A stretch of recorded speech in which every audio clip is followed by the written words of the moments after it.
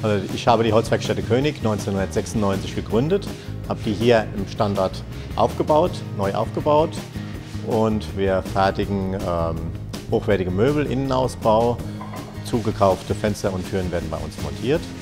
Zurzeit haben wir acht Mitarbeiter in der Werkstatt und vier oben in der Verwaltung, zwei Meister, drei Gesellen und drei Lehrlinge.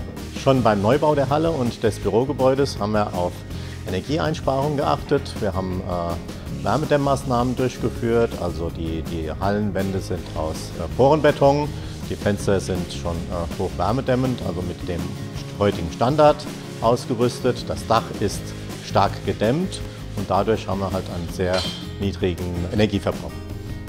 2007 haben wir eine Photovoltaikanlage äh, installiert mit knapp 25 Kilo, äh, Kilowatt Peak und das ist auf, der, auf, dem ganzen Hallendach und auch am Bürogebäude und wir produzieren fast doppelt so viel Strom, wie wir verbrauchen. Die Investitionssumme für die Photovoltaikanlage betrug ca. 105.000 Euro. Der Ertrag ist zwischen 10.000 und 11.000 Euro im Jahr. Damals ging man von einer Amortisationszeit von 12, 12 Jahren etwa aus und genau das ist auch eingetreten. Also im Schnitt produzieren wir etwa 21.000 Kilowatt Strom im Jahr.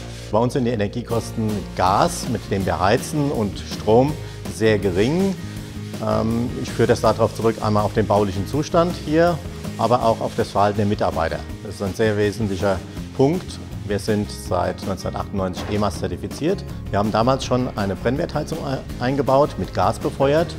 Und wir haben hier eine Hallenfläche, eine Werkstatthalle von 400 Quadratmeter plus 100 Quadratmeter Büro und wir verbrauchen nicht mehr als ein normales Einfamilienhaus.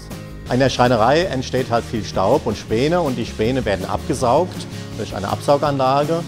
Ähm, wenn diese warme Luft nach außen ge geführt wird, würde die ja dann die Wärme aus dem, aus dem Gebäude rausziehen und dadurch gibt es eine Wärmerückgewinnungsanlage.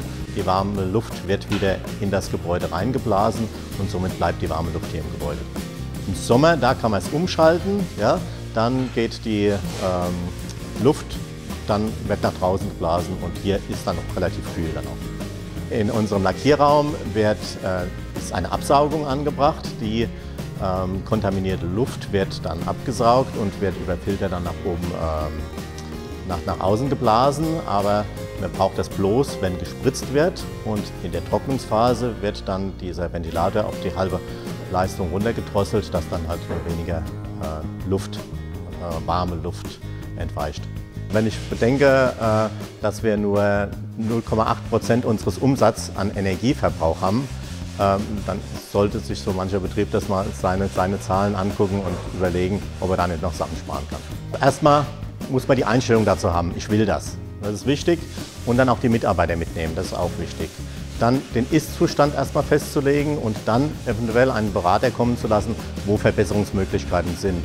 Weil oft ist man wirklich betriebsblind ja, und man sieht die einfachen Sachen nicht und da gilt es halt auch Berater dann zu kontaktieren, die einem da helfen, weiterhelfen können.